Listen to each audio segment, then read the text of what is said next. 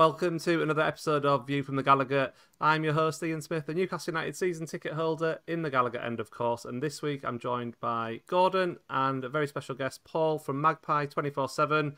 Paul, how are you?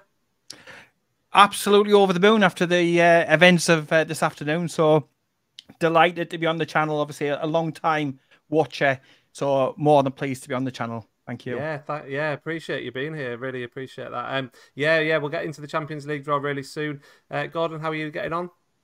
Yeah, just the same. I'm absolutely um, thrilled. It couldn't couldn't be much uh, better that draw. Really, three big big teams coming to St James's. I mean, just it's wonderful, isn't it? Yeah, yeah. I mean, there's only one place to begin today, really, uh, and that is the Champions League draw, where Newcastle finally found out their opponents for the group stage. Is something we've been waiting for since May when we qualified. And what a group it is. Newcastle are in Group F, the group of death. I think it's fair we can call it that. and we're going to face. Did, did, you, did you hear the gasp around the auditorium when the yeah, when Uh, Newcastle United were, were mentioned at the end? Everybody knows it's the group of death. Totally. Yeah. And um, yeah, and the, these three teams, Paris Saint Germain, Borussia Dortmund, and AC Milan, none of them will have fancied taking us out of pot four, but that's what we've got. That's what they've got and it's our first campaign in the competition for 20 years. What a welcome back to the world's Premier Cup competition. And I mean, how, how are we feeling about the draw then? Paul, start us off. I was absolutely over the moon. I think if you're going to have waited two decades to get back into the competition, this is exactly the sort of draw that you want. With the greatest of respect to some of the other groups, um, when I saw that one, it was like, yeah, it's written in the stars. You knew as soon as Milan sort of came out, I was like, that that is going to be us. That's got to be us. Uh, but yeah, absolutely uh, delighted. It brings back, of course, great memories of previous campaigns when we probably felt the same sort of butterflies we're all feeling at the moment. But uh, yeah, an absolutely amazing draw for me. And there's so many of those little hidden subplots behind a lot of the games yeah. as well. You know, the connection with Isak and uh, Dortmund, uh, the connections between Tonali or Tonali uh, and you know Castle United and, and, Milan, obviously. So there's lots of those little caveats that I love.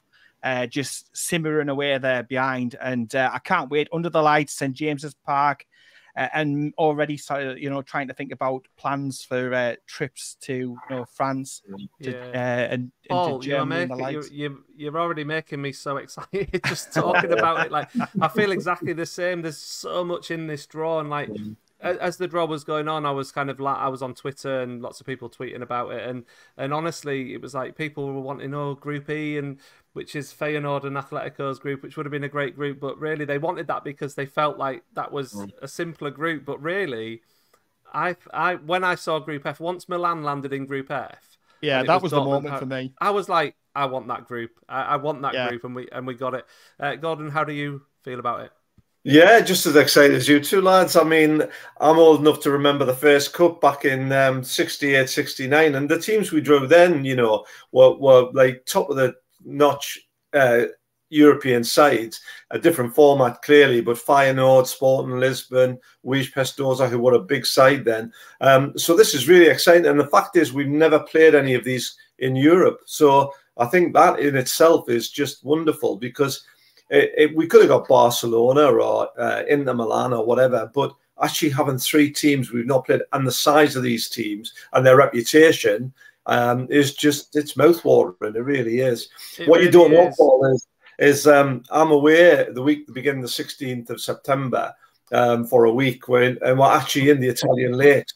Now I'm hoping that we play AC Milan that week in Milan. But Sod's Law will be that we'll be playing them at St James's Park instead, and I'll be over in Italy and I'll miss it. But you know, yeah. there we go. You can guarantee that's going to happen. You're going to have Milan oh, yes. Newcastle, and you're going to be over there. But mm. um, well, let's let's let's go for it. I mean, it's a hard one this because they're all they're three amazing teams. Which game are you most looking forward to watching? Um, you know, whether that's home or away. I mean, Paul, it, it sounds like you're are you trying to get a, go to at least one of these games away? Yeah, definitely. Myself and Carlo, obviously the other lad who, who runs Magpie twenty four seven. Uh, we were straight on, straight on there. We got the group chat, and we were straight saying, you know, which game will be easiest to get to. What are the different options? Um, and it's just so exciting. It, it's it's what I've been harping on about for so so long. I miss these European adventures and stuff, and um, I'm just over the moon. Like I said, the romantic side of me wanted possibly Barcelona because of the history. You know, they had the Asprilla videos even put up by the social media team for Newcastle recently, but. Um, yeah, I mean, I think any of these away games that we can get to, I've even said said to Carl, look, even if we can't get tickets, just to be there to sample it, uh, to take it all in, um, got got to be there. But clearly, yeah. the Milan one, you know, same same venue, obviously different opposition, but yeah. the thought of several thousand Geordies, a special night, the Tonali, that subplot I was on about uh, before, that would be absolutely I, I, fantastic. I think, I think the Milan, I, I, think the Milan one sticks out for me as well for a few reasons. Obviously, the the Tonali story is a great one. Obviously, just signing him from Milan this summer, but I think, I mean, uh, we were lucky enough to actually be in Milan 20 years ago when we played Inter and Shearer scored twice, and I I maintain that that experience in Milan is my absolute highlight of being a Newcastle supporter. I've never mm. experienced anything like it. It was just brilliant. We had a great few days in Milan. The game was great. We should have won probably, but we drew, and it saw Shearer score twice, yeah. and it was brilliant. So, so to go back to the San Siro, uh, yeah, different opposition, but still to go to return to Milan. To, actually, to return to Milan and play a different team is actually quite nice, I think, because like mm. you were mm. saying, Gordon, like it's good to play different teams. We're now going to have yeah. on our list of teams that we've played. We're going to add Milan, Dortmund, and Paris. And don't, don't don't worry, amazing. don't worry about Inter Milan. We'll face them in the knockout stages. we'll go back. We'll go back. Confidence. We'll be back. We'll be back. Yeah, yeah. I like it. Um, so I think Milan away for me is. Uh, I mean, I won't be able to get there this any of the away games this time just because my, my job just does not allow me to, to get to midweek games away from home in Europe. But um, yeah, I mean, in terms of the home game, I think any of them are going to be great. But I mean, let's be honest, we're going to have Mbappe coming to St James's Park. That's that's pretty cool. Well, that's pretty cool. I, must admit, have, you seen the, the, the clip when he was playing football manager and he was on about Newcastle before and about the weather? I've only uh, just I know, I know, it, Carl was straight on that on, on, on, Twitter about yeah, it. Yeah, just um. Um, again, it's another one of those little, just like I say, little subplots, little uh, extra little bits that you can sort of throw in. Uh, oh. you're, you're right. Seeing those sort of players uh, at St James's Park, and and let's get get it straight. None of those teams that we pulled out of that uh, hat today or bowl or whatever, um, none of them will fancy a trip. None of them will fancy a trip to Tyneside under the lights with the atmosphere, the noise, the passion, and it's a little bit going into the unknown. We don't know how we'll react as a club and a team and a unit to playing different styles of opposition. Um, but I, I, think I think we can make a decent fist of it. I really do. Yeah. I, I, cannot wait. I cannot wait for these games to come around. Yeah. I, I, agree with that last point, Paul. I think I think we can make a decent fist of it. And if you remember, I mean, when Barcelona arrived in '97, you know, I mean, but there was a bit of trepidation around. But you know, the, that atmosphere and that what happened in that game was is obviously it's legendary, isn't it? And it's there's nothing to stop us creating our new new legend. Yeah, um, think... totally. Yeah, because it's, it's not just that, but the thing is, we weren't fancied in those games, and the crowd played such an important role in mm. helping get those results. Even the ones against uh, it was a Kiev and stuff like that, we were not we were not fancied at all. And the Juventus game, you know, the crowd, the situation, and it, it you, you just never ever know. They won't have experienced anything like St James's Park. So bring them to our backyard, and that's got to be the basis and the foundation yeah. upon a successful Champions League campaign. Dortmund will be interesting in terms of atmosphere, though. In terms of like the won't have oh, experienced yeah. anything quite like St James's Park, because I think Dortmund's atmosphere is pretty legendary, isn't it? So that's going to be an interesting one to see how our players it, the battle, react going it? into going flags. into that kind of environment that's against them. Yeah, it's going to be something else, isn't it? I think uh, all these, all six games will be memorable in their own way. Um, and you know, if we can if we can get out of this group, wow, that'll be just uh, incredible, absolutely incredible. When? when? And which, which game? which game are you looking forward to the most, Gordon? Um, which one if was? To, if you had to pick one I of think, the six games, I think a bit like um, you with with um, PSG coming to St James's. I think that's that's got a you know this huge ring of this very wealthy club um, uh, owned by the, the other the other um, subplot there is yeah. the Qatari Saudi rivalry, isn't it? exactly. Oil Classico. Yeah. Exactly, oil. Yes. Yeah. yeah. No, I think that's going to be a great night. Like I said, I'm just Yeah. hoping, really, really hoping that the first game is away somewhere because I don't. I'm, I'll miss it if, if it's a home game. But uh, Yeah, yeah. and I'll be, I'll be, I'll be a little bit um, sad if I'm not able to get to it. But no, I I think PSG will be will be memorable. But as I say, I think they'll all be great nights. Yeah. Uh, Paul, so do, do you reckon we can actually get out of the group? Do you think we'll get out of this group of death? I, I do, I do. I mean, at first, you first when when it's pulled out and you, you're looking at the names on the screen, you're a little bit, yeah. You know, this is typical Newcastle United. If we're going to do it, we do it, you know, the the difficult way. But I just feel uh, we will be a little bit of the unknown for them. Um, they've got to come over here, and they've got a lot of great players, no doubt about it.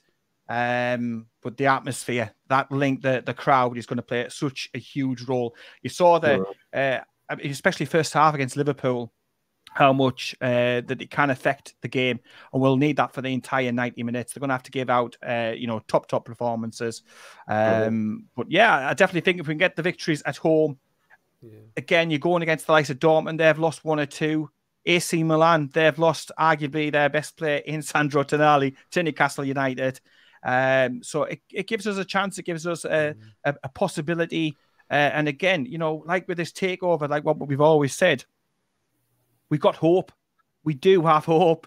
Uh, uh, you know, and as long as we've got that hope, uh, then we'll give the lads a thousand percent uh, back Yeah. in, and the team will give everything. I've no doubt about that. They'll leave every little last inch, sweat, Yeah. blood, tears, everything will be left on the park. So I, I am confident. Uh, but it's just so great to be playing the likes of Paris Saint Germain instead of the likes of Preston that our near neighbours are playing. Um, it's Yeah. what the thing is. I think um, there's a couple of things really. I mean, the main one being, I think, obviously we are the underdogs. We're in pot four, but we were in pot four really because of our we haven't been in Europe for such a long time. Jeez, not because Ashley. of not because of how good we actually are. And I was thinking Man United are in pot two. Now, obviously they're they're a good a good team, but like we were pretty neck and neck with them last season. Really, they got the better of us in the league and the and the cup, but only by a little thin narrow margins. And you could you could almost argue we were actually a better team in some respects.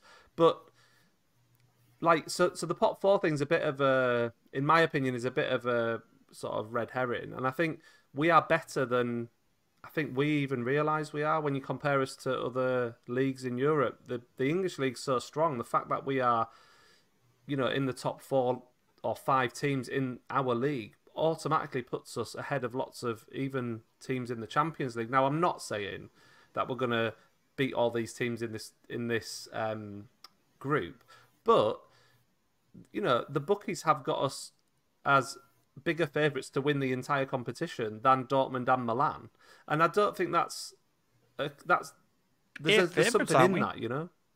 I think we're favourites to win the, the entire thing. You know, yeah, which is it- bonkers. I mean, it's just it's craziness, bonkers. isn't it? But the point is that the English league is so strong that we are. I think we're stronger than we sort of realise in a sense. We, we can It's- it's definitely right. give these teams a game.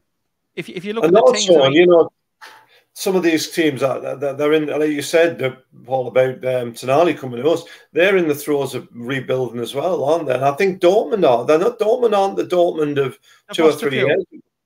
Um, so I think you know. Well, I mean, we- we- Dortmund. Dortmund nearly won. The, Dortmund should have won the Bundesliga last season.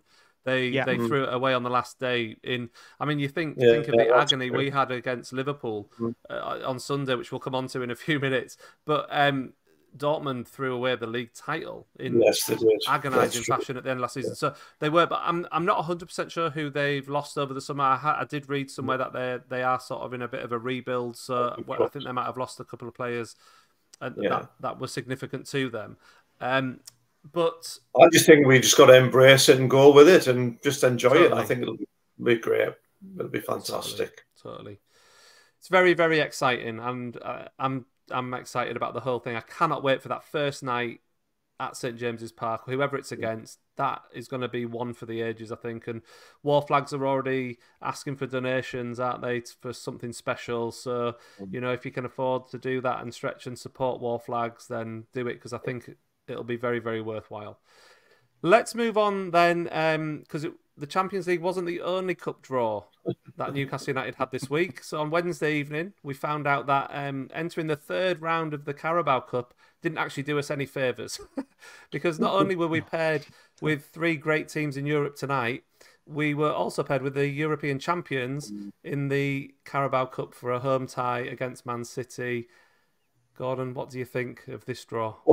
I have to say, I loved. I was watching it. Um, I was in bed. I had my headphones on, and then it got to the last, and I knew we, there was four balls left, and then we came in. I said, "Oh, get in, that's good." And then, then it came Man City, and I said, "You've got to be joking!" So I, I yelled, I shouted that. Of course, I had headphones on, so your mum couldn't hear it until anything until I, I made that comment. She said, "What's happened?" You know, and it look, we're at home to Man City, not away. So let's see. We, we can we can give them a game at, at Newcastle. Yeah. I've no doubt. Paul. Yeah, I mean the first thing, obviously, as soon as the Man City, um, you know, tie was confirmed, I'm sitting there thinking, well, we have we have form for dumping them out of the third round of the League Cup, uh, and I was sort of scratching my head, sitting there thinking, oh, it was uh, Rolando Aarons, wasn't it, That's and right. uh, Sissoko. Uh, right. You know, in that, that famous victory down there. Now, it was very much a second uh, string side when we were down there, so you can just never say never. But I think if our if the game had been down at the Etihad, I, I would have been feeling quite pessimistic about it. But the mm. chance and the fact that it's at St James's Park, there's going to be a great crowd in there because tickets are absolutely scarce as. So there's going to be a good atmosphere. Yeah. There'll be a large crowd. Uh, Pep Guardiola, Pep Guardiola's already uh, talked about coming to St James's Park before, and now it's such a difficult, tall order to do. They're going to rotate. You would hope a couple. Eddie Howe will most likely go strong because you know taste of it last season. And if you're going to win the thing, you've got to beat the best at some point. So yeah. might as well start as we mean to go on.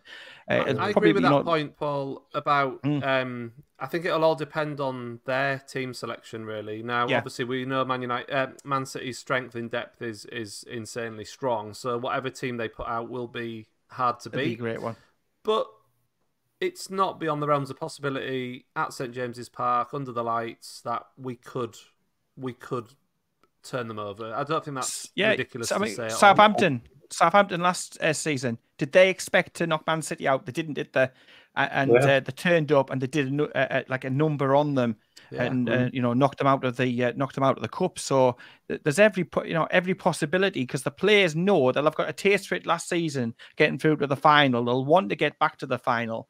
Uh, so it's again, it's all about these extra few percentage points that we can get out of the players, mm. that little extra little bit of effort, grit, determination, uh, that might just be enough. I mean, you know, we drew with them three apiece, didn't we? Uh, and we were three one up at one point in that game. So we can get around them, we can get about them, and I think at St James's Park there definitely is the possibility. Um, of, of beating them and dumping them out yeah. the cup. Think, it's going to be a difficult chances... game. It's great respect to them. I think our chances increase significantly with the fact it's a home game. I think that that makes a big difference for us. It, it makes a, a, a, ridiculously tricky mm. tie slightly less tricky. Obviously, we take nothing for granted, but I think being at home helps us a little bit. So it's exciting. Um, there was one little issue with this draw, which I'm sure you've picked up on. The ball order was wrong. So apparently Newcastle should have been ball 19 instead of ball 20. Yeah, somebody doesn't know the few... alphabet. Yeah, because Norwich were put uh, alphabetically ahead of us. Well, you know, when, yeah. when, Norwich came out, I'm thinking, all oh, how can they have been ball 19 and, and we're 20? Because I knew we were 20 uh, because I've been told beforehand. But when Norwich mm. came out, thinking, hmm, I think they've yeah. got that wrong. well, well, the league, the FA have have said today, but they have admitted it was wrong, and um, that it hmm. was wrong. But there's there's also no rule that says that everything needs to be in alphabetical order. And, yeah. and I guess if you look at the last few numbers in the draw anyway, because the last few um, ties were played Wednesday night, and those teams filled those numbers, so there was no hmm. rule there. So I'm not bothered about this really. I just yeah. thought it was an interesting point, but some some fans were sort of calling for, you know, the draw to be redone and stuff. But I, personally, I just think, look, we got Man City, and we just get on with it. Craftsman at straws, a bit, isn't it? The thing is for the Man yeah. City game now is we're going to have a Champions League game on the Wednesday before or the Tuesday before. We've then got a league game on the on the that weekend. Then we got Man City in the Carabao Cup. Then a league game, then another Champions League game. I mean, it's just it's just bewildering. It's just mind blowing, isn't it? I mean, yeah, but this is why this is why this is when the rotation starts, isn't it? This is when Eddie mm. Howe starts using the squad more, and I think that's what mm. we'll see after the international break is Eddie Howe making changes game after game. So. Uh, one other thing you've just mentioned there about the Champions League um, thing, Dad, it just reminded me. We'll find out the actual fixtures, UEFA themselves said no later than Saturday. So all the fixtures should be published either Friday or Saturday. So if you're listening to this podcast, you, it might already have been done um, by Saturday. So yeah, um, so that's worth worth knowing as well. Let's move on then. Um, we'll we'll we'll change the tone a little bit. So Sunday feels like it was a long time ago in some respects, but let's have a little chat about Newcastle's loss at home to Liverpool. Uh, we all know, taking the lead through Anthony Gordon, uh, the Magpies saw their opponents reduced to 10 men as Virgil van Dijk was red carded for a foul on Isak after 20 minutes, and it seemed that Newcastle were in a prime position to get their first win over Liverpool since the 2015 16 season. But a Darwin Núñez inspired Liverpool had other ideas by scoring two late goals. Newcastle succumbed to a truly devastating 2 1 loss, which was very, very difficult for anyone connected with Newcastle to stomach, myself included. Gordon, Dad, you were sat next to me.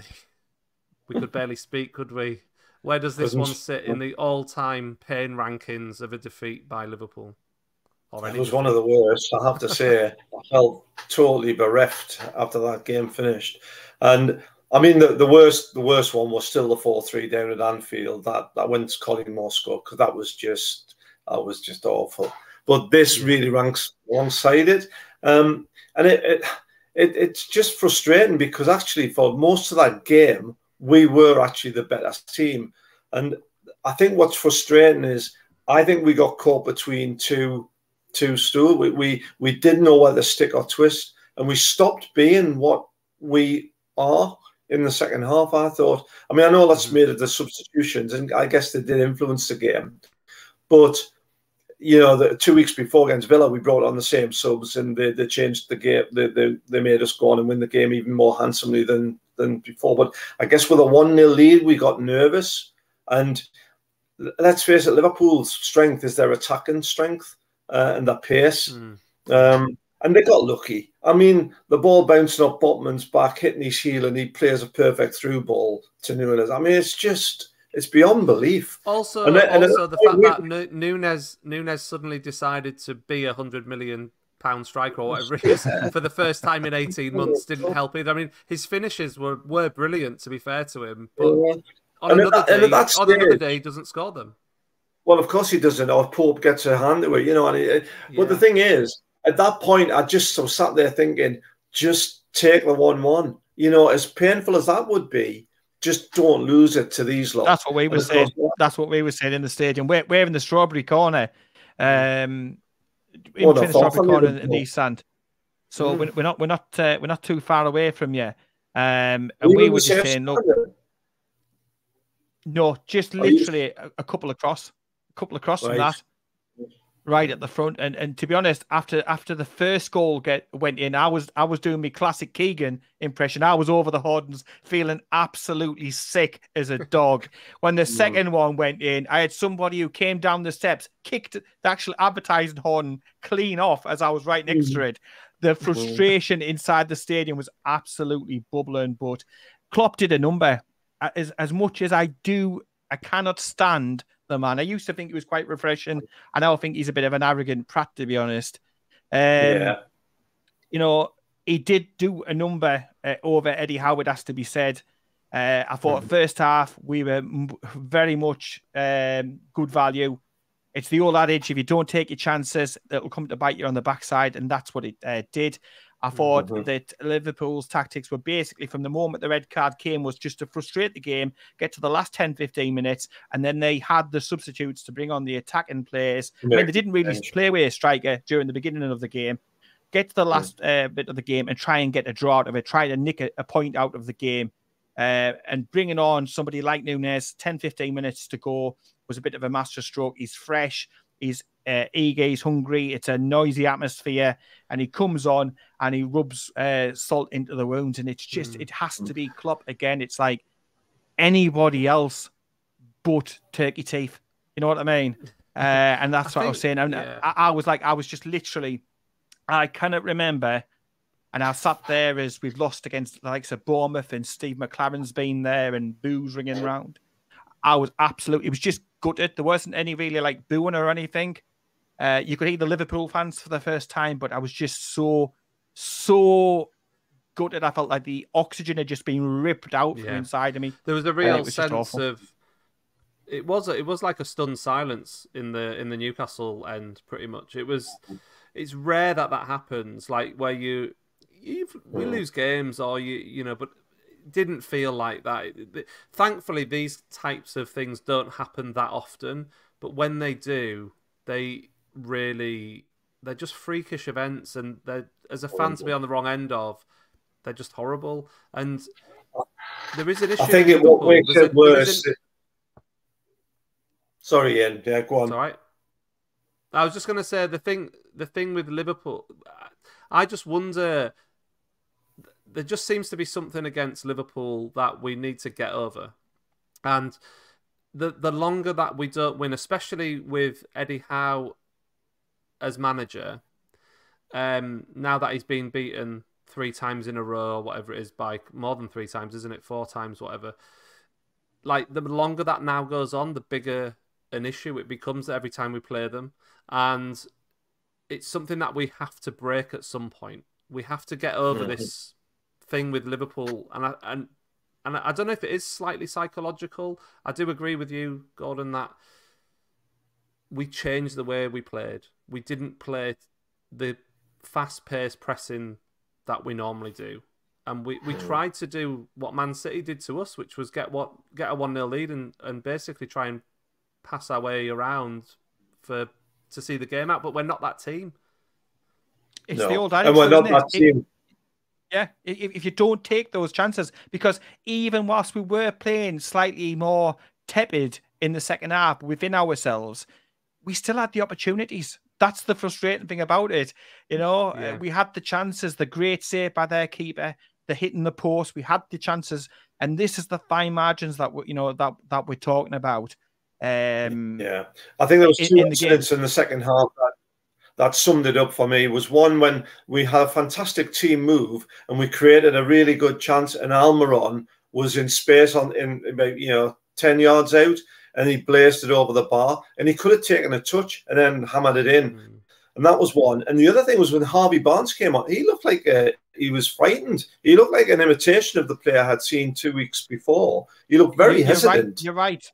Yeah, you were right to mention that because he, he came onto the ball and he had a great chance. He was away down on the left hand side corner of the box, and you're looking. There was Callum Wilson in the middle. Now he could have took a shot on, or he could have passed, and he sort of didn't do either. He was caught in yeah. two mm-hmm. minds. He was he just didn't seem to be in his in his full, you know, floor. Yeah. And sort of and... again, it was another opportunity that sort of was fluffed. And it is again about those small you know, split yeah, second stuff, moments. You learn, you, know you learn I mean? from that stuff, don't you? Yeah, you, you, should learn from that. But I agree. It's like against Villa, he was so um, precise in his decision making. He was it was like right, yeah, this this time I'm going to just whack it into the back of the net. This time I'm going to play it across and feed Callum Wilson. And uh, obviously Wilson missed the chance against Villa, but he kind of just didn't have that fluidity to his decision making against Liverpool for some reason. Let's just very quickly before we move on, just have a very quick chat about Almiron in particular. Um, so he he had our three best chances and I've been thinking about this because he's come for under a lot of stick this week, and I don't know. Some of it seems justified in my opinion, but some of it probably isn't justified. he had our three best chances. He had the one in the first half where Alisson makes a ridiculous save. He hit the post, and then there was the other one that you've just mentioned where he, he was totally not skied composed it, and skied it. Should he have, should he be scoring uh, one of them though? Yes, well, he should, he should do, shouldn't he? Yeah, uh, to be fair to him, I think the one he should have scored was the one I've just described before. I think the one that the Alisson makes a save on, he can't do any more than what he did. It was, yeah. it was a brilliant save, absolute brilliant save. And I thought it was in from where we were. And then, of course, you know, and, and the thing with Alisson, he made a save and then he made another save. He parried it away. The one that hit the outside the post, that's just one of them. It was in full flight. He went, he. And what I think about Almiron, you know, is the less time he has to think about something, the better finisher he is. And I think with the one that he had the space and the time, he he he, he just gets it wrong, and he does that more often than not um, when he has the time. And if you look at some of his goals last season, there were a lot of the good ones. The goals he scored were instinctive, just instinct. first time effort. Yeah, yeah, yeah. Um, one last. If we go if we go two 0 up in that match at any point, we're winning that, right? Yeah, yeah. Yeah, absolutely. It's just, just a, a, a, very harsh lesson in not taking your chances, isn't it? Mm-hmm. I think. I think um, so because I think if you go if you go two 0 up, uh, Klopp goes into thinking about the bigger picture and he's planning about future games and resting yeah. players and not risking players and that sort of thing. But I will just caveat. I mean, the Miggy thing, it's so frustrating. I mean, uh, I love his enthusiasm. I love his passion. Uh, I think Eddie Howe puts him in because he gets through an amazing amount of work, you know, in the same way that a Sean Longstaff gets uh, a lot of good stuff off the ball. Um, but it's just like you say, it is. He's just his decision making, those split second decisions that sometimes he just doesn't need to think about. You're right. He just needs to just just do, and it's um. Yeah maybe an idea to get Jack Grealish to uh, criticise him again. He might go on another yeah. absolute uh, barrage of uh, goals and great performances again. I think the thing is with with Miggy, um, you know, he's been at the club quite a few years, and he, he's he's he's got the work ethic and all the rest. But to be honest, within a year, two years, we're going to replace him because we're going to have somebody better than Miggy. As much as I love Miggy, you know, and he's smile and all the rest of it. But if we want to get where we want to be to be a top team, we need a better, a higher level player. On I must right admit, it made, it made me laugh. Just the think... club put the club put some stuff out about um, obviously days gone by in the Champions League, and obviously mm. the Barcelona game has got replayed a thousand times. I, I probably played it a thousand times myself, and um, you see the Keith Gillespie run and the cross.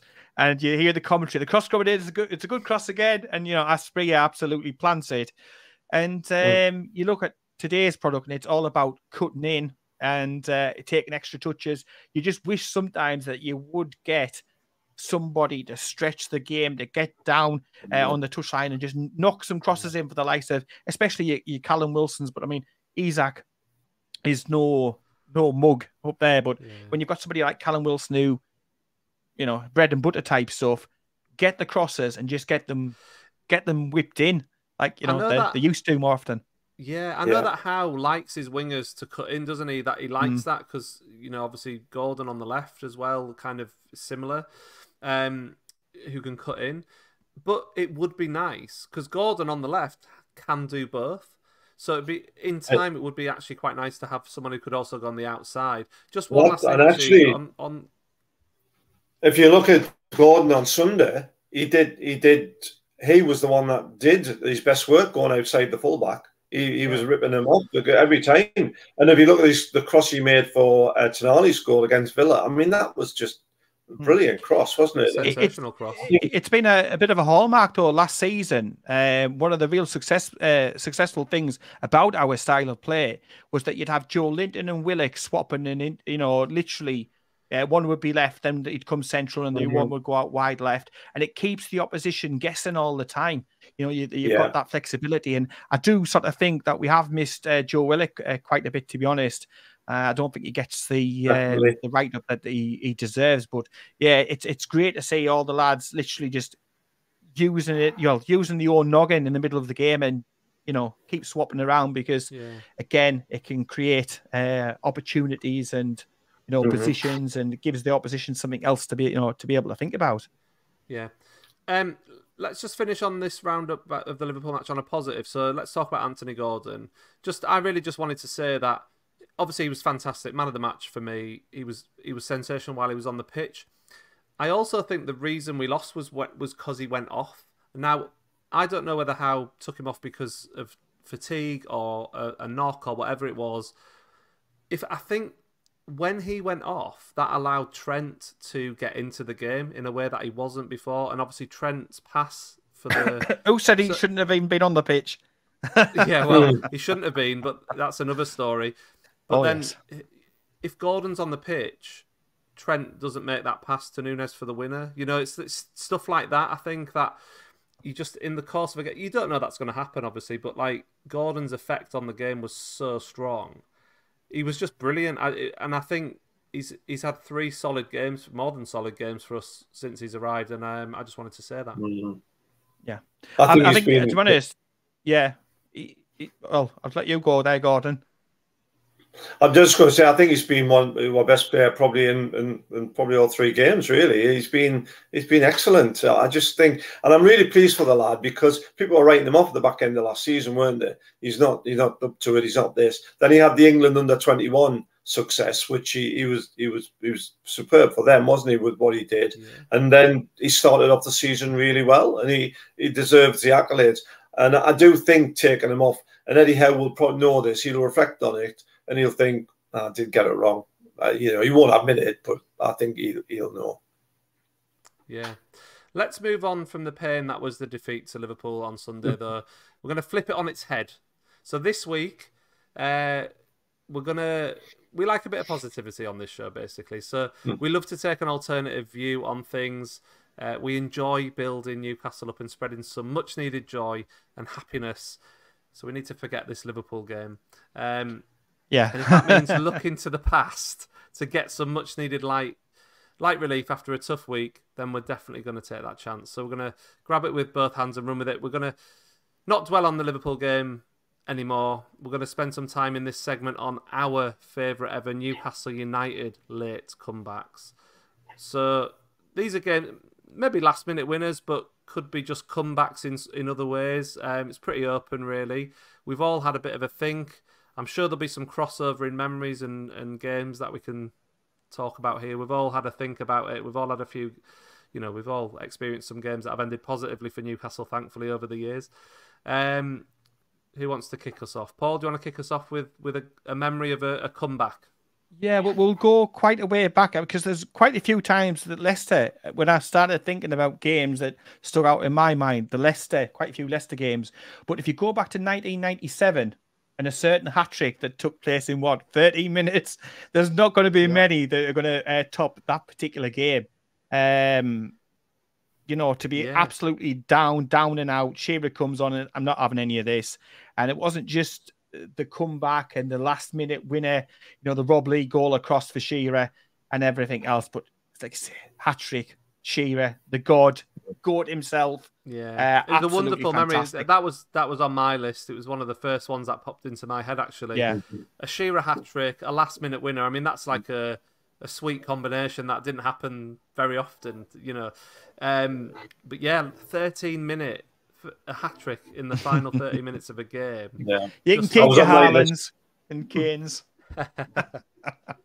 I guess it was probably on your list, was it? It, it was. I mean, I've got. Uh, it was one of the ones I wrote down. And interesting enough, and this isn't one of me the ones I want to talk about. There was another Leicester game at the beginning of the nineties. I don't know if you remember this, where we were actually um, three um, one down. Then we were. It, it was we won five four basically, and it was a game when um, Thingy Campbell scored for Leicester, and it was obviously the before Keegan. Um, that was a, a, one that sprung to mind because um, that was quite memorable but it's not one of the ones I've got on my list of me three me three favourites. What season yeah, was that? That, that was 1991. All right. Okay. Joe was it? Uh, it was it was five four. Very at the start of my attending matches. That one. Yeah, I think you were probably remember. there, Ian, but you probably don't remember as much as I do. that. that one didn't pop into my mind. So, um, I'm going to add one um, that I think is relevant to today, um, with it being the Champions League draw when we're recording this podcast, and it's you know in it, it was a comeback and a comeback in, in a sense because not only did we come back in the match in question, we also came back in the group. So, as you as many of you will know, listening in 2003, we needed to win all three games to progress to the next round, 2002 2003 season, because we'd lost our first three games and we needed to win the last three.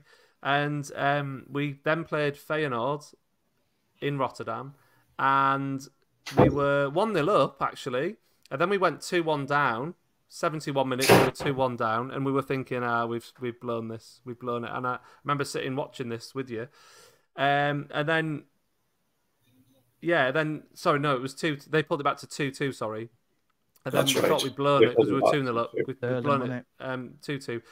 And then the 91st minute, Craig Bellamy scores that. that He had no right scoring that goal, did he? Really? I mean, I'm over the moon. He bloody did. Like, don't get me Yeah. wrong, but he had no right from the angle that that he was. I mean, Yeah. Newcastle United, typical. Again, we talked about it before.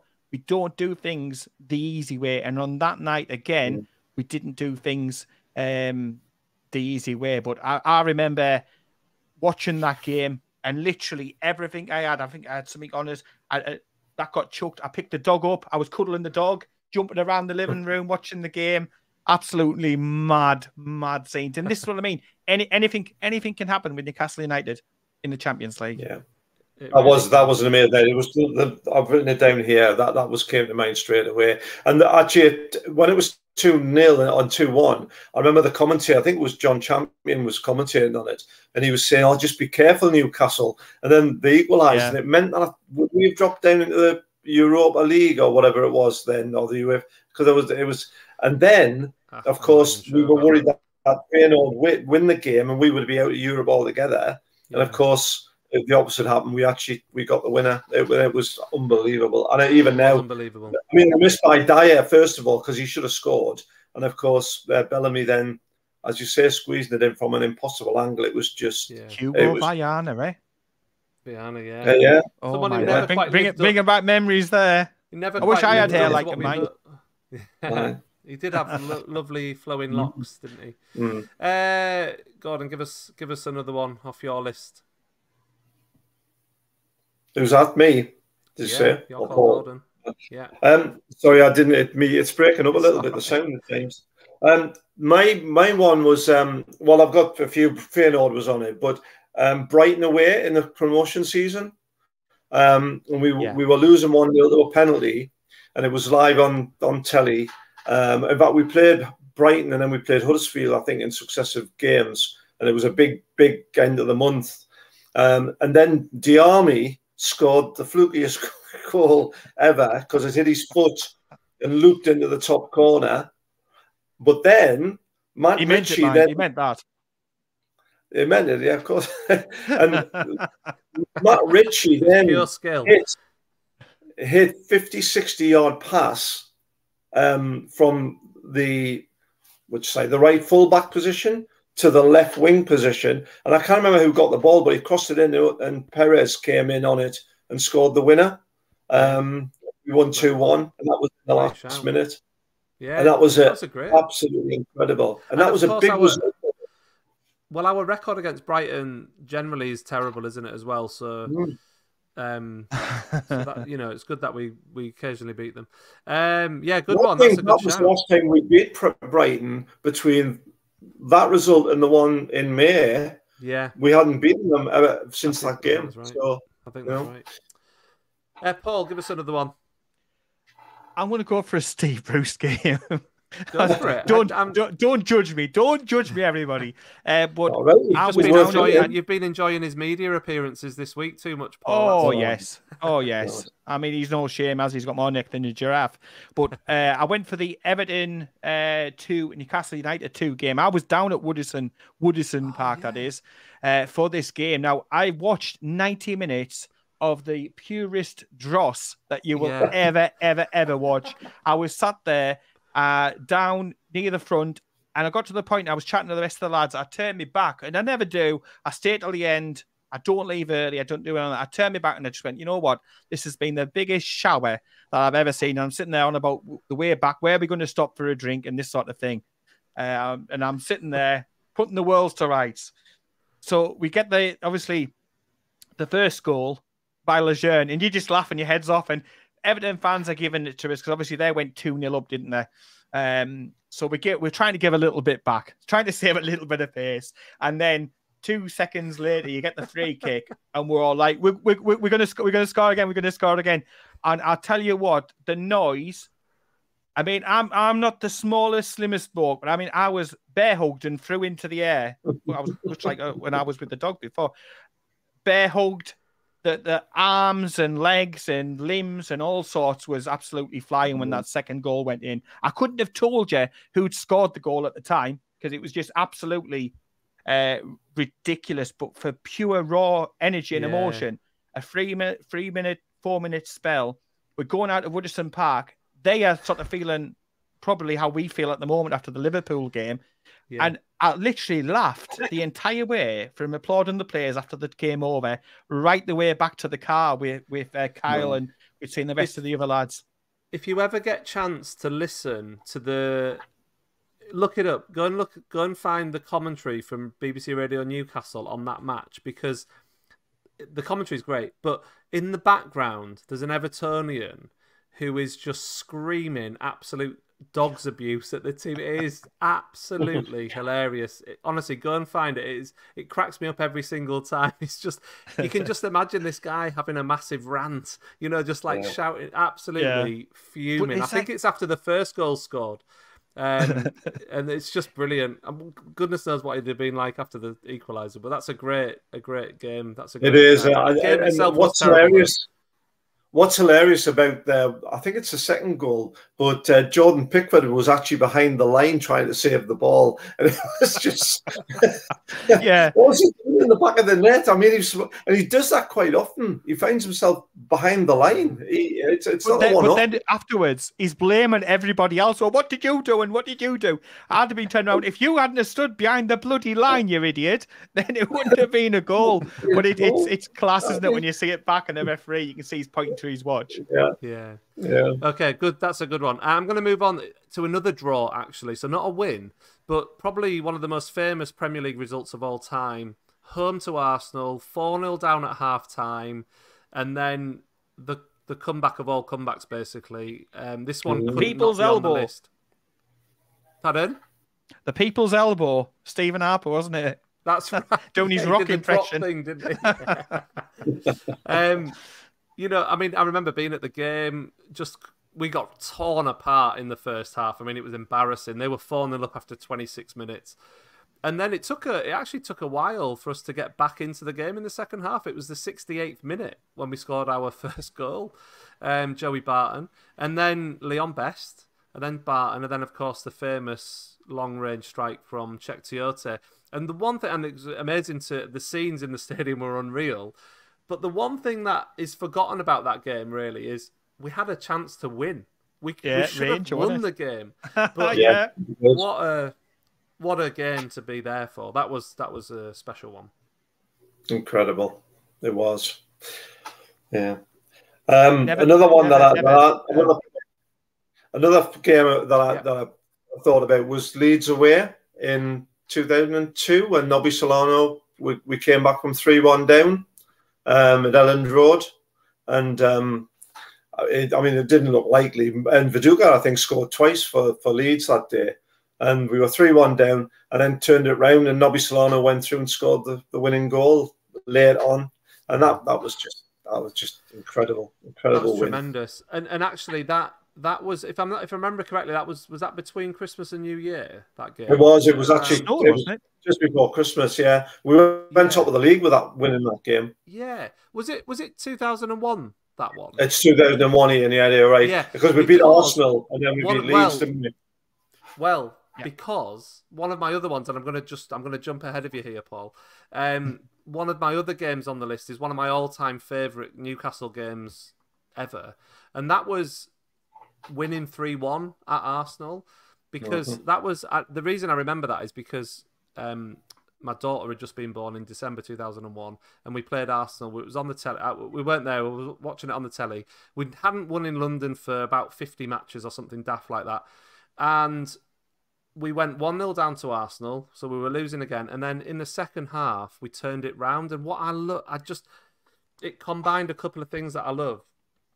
First of all, it com- it had a, a last minute winner, but also the type of goal. Like the, the, the last goal, the third goal, was a breakaway goal. Arsenal were pushing because we were 2 1 up at that point. Arsenal were pushing, they were trying to equalise, and then we broke away, and Laurent Robert raced through Arsenal's half and his finish into the bottom corner. I'll never forget, it was just amazing. And we were just cheering so loudly that obviously my daughter who's just been born a couple of weeks or whatever before she she was so shocked she started crying.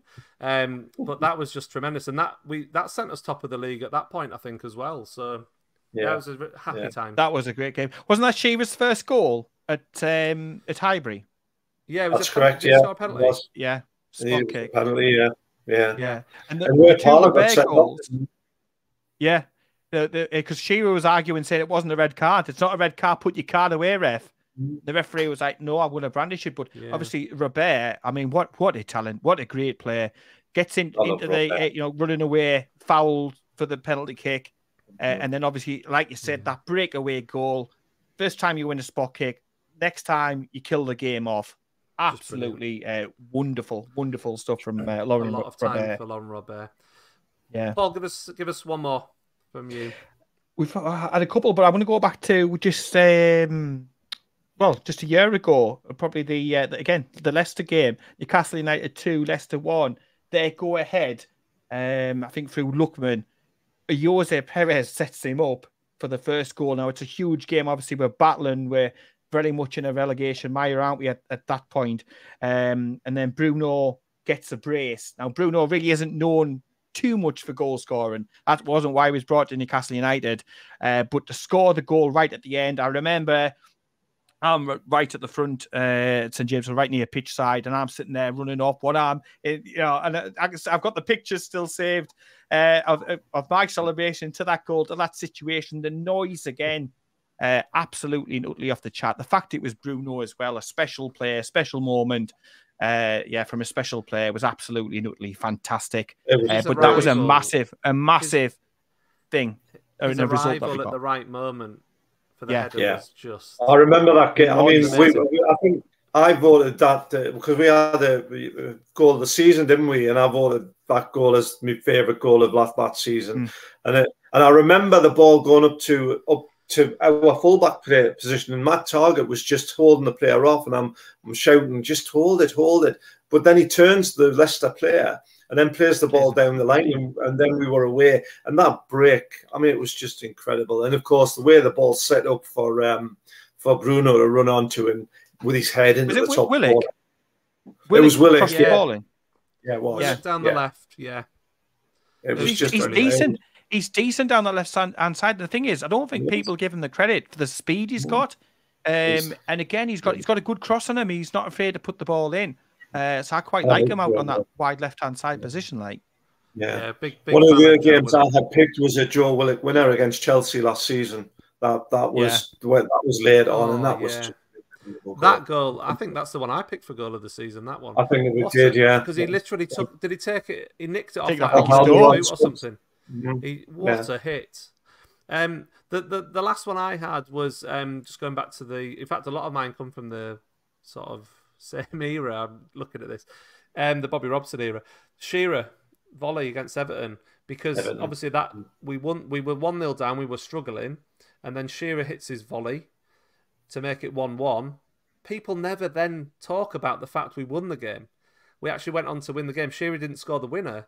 Bellamy scored the winner, I believe it was. scored the um, winner. Yeah. Uh, with the last sort of minute, last back post yeah. tapping, didn't he? Uh, to to win a game, two goals in the last five minutes basically to win a match. Uh, it, was always going to have to take though in that particular game. This was an Everton weren't absolutely crap. They were decent back then. They were hard to play against. Yeah, they were they definitely hard. hard to play against, and it was going to take one of those type of goals, um, to you know, to sort of break break the duck, as it were, against mm. uh, that opposition. But um, oh my word, one one of the the best ever goals. goals.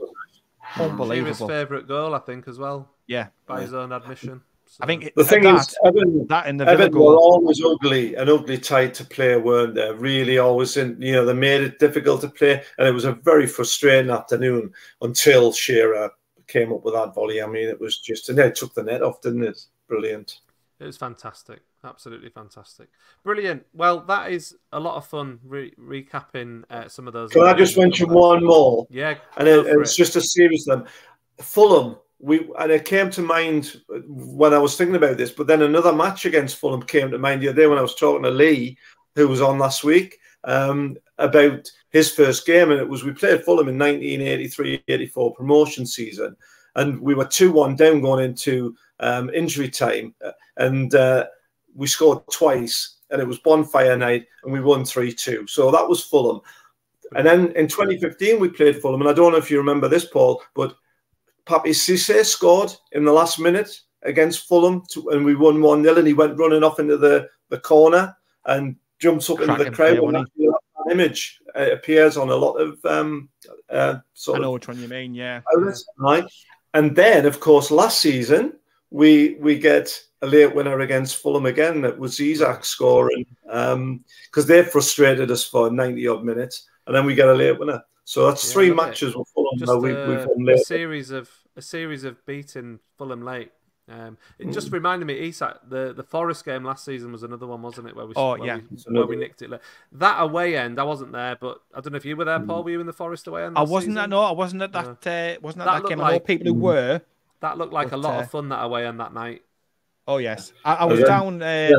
I was down a couple of seasons ago when we played them down there, um, and we lost. And it was back in uh, Newcastle fans' TV days, and um, I was getting some pelters off the Forest fans as they were going past, but I was literally just venting.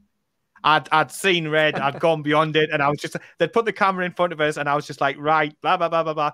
And I think we had City the next game up. I'm like, oh, we need to park the bus. You know, it's it's it's terrible this uh, type thing. But uh, yeah, some uh, definite memories from down at the City ground. It's uh, one. It's if you, if nobody's ever been, uh, and then you get a chance to go and see a Newcastle game down there, it's decent. It's decent. Yeah.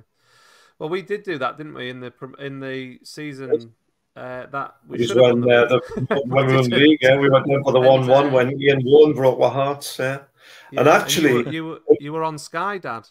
I, I, was on Sky and I'm on the end of season video. If you ever look, and I'm I was standing like this praying for a goal in the quarters. Martin um, Tyler references you doing this with like. Anyway, I think we all do a lot of that. yeah. Right, let's wrap up then. Uh, little trip to Brighton at the weekend. So the uh, the game's coming thick and fast, and uh, tricky match this one. Uh, how do you think Eddie Howe's going to approach this game? Does he make some changes? Does he stick with the starting eleven again? What do you reckon? What do you reckon, Paul? How do you think he's going to go with this one?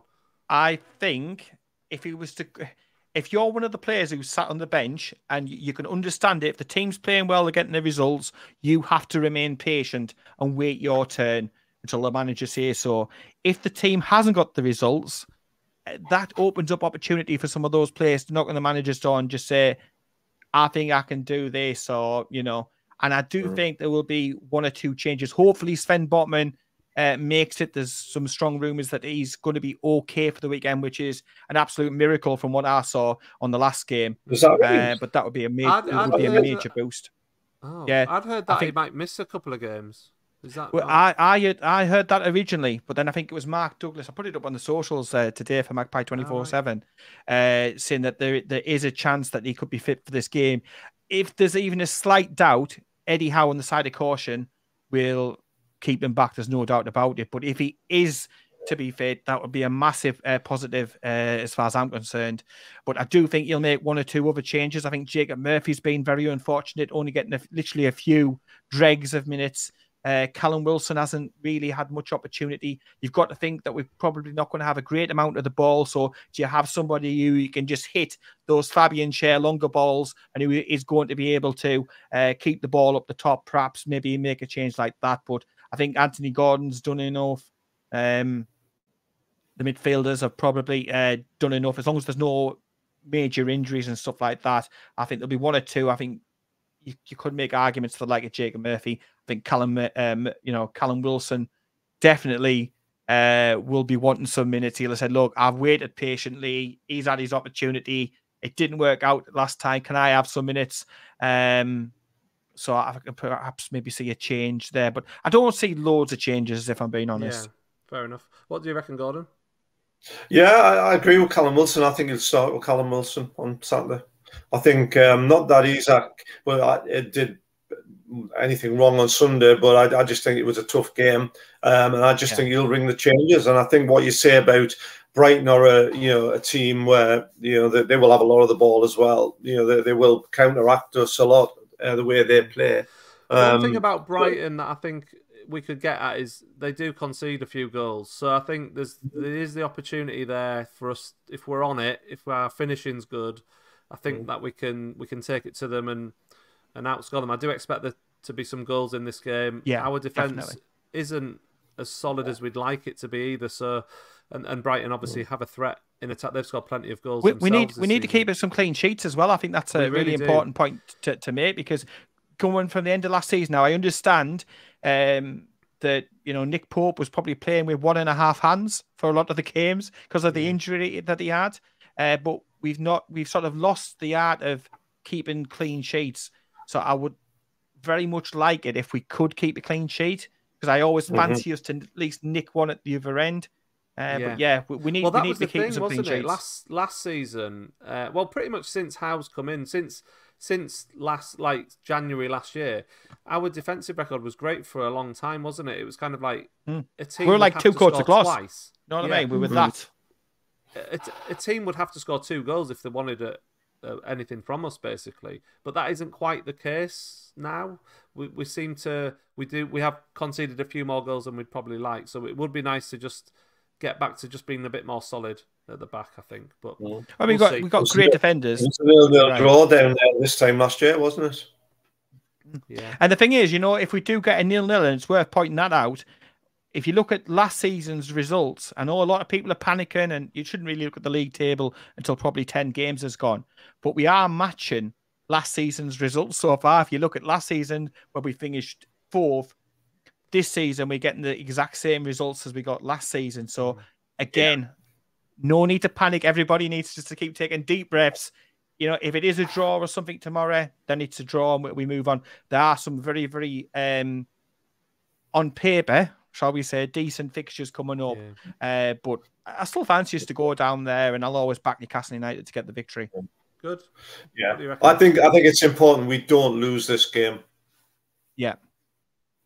Because yeah, of the international break and the fact that if we lose it, it'll be three defeats in a row. Um, and going into an international break, I don't think that is necessarily a very good thing. Um, so I, uh, I, think we need to be not losing the game, but I do expect that we will give it a go and, and try to win it because that's yeah. that's generally the way we play, isn't it? Yeah. Oh, we'll be going there to win, no doubt. Yeah, I totally agree. And I think Brighton are going to be a tough team, no doubt about it. We don't have the best record down there, as we've mentioned in this this show, but. Funny enough, they're the best moments and they went there. Well, yeah. You know, this is what I'm saying. Records are there to be broken, aren't they? at the end of the yeah. day. We'll see. Let's see what happens because after the international break, lots of fixtures come in in all sorts of competitions. So if we can get a positive result, we'll all be happy. But uh, yeah, good one. Anyway, thank you so much for this evening to both of you. Um, if you don't, I'm sure all of you do anyway, they've got millions of followers on Magpie 24 7. But if you don't follow Magpie 24 7, go and follow Paul and Kyle over at Magpie 24 7 on Twitter and everything else that you do. I know you're all over the place, aren't you? Yeah, we um, are. We're everywhere. Um, but always, always good stuff over there. So, so go and check them out. And yeah, enjoy the weekend and fingers crossed for a result against Brighton. Great, stuff. definitely. Very good. Thank you. Okay, right. Thanks so much. Thanks so much for listening to View from the Gallowgate. Uh, we'll be back in a week's time with more Newcastle United content. So check us out check us out then, and you can subscribe to us wherever you get your podcasts.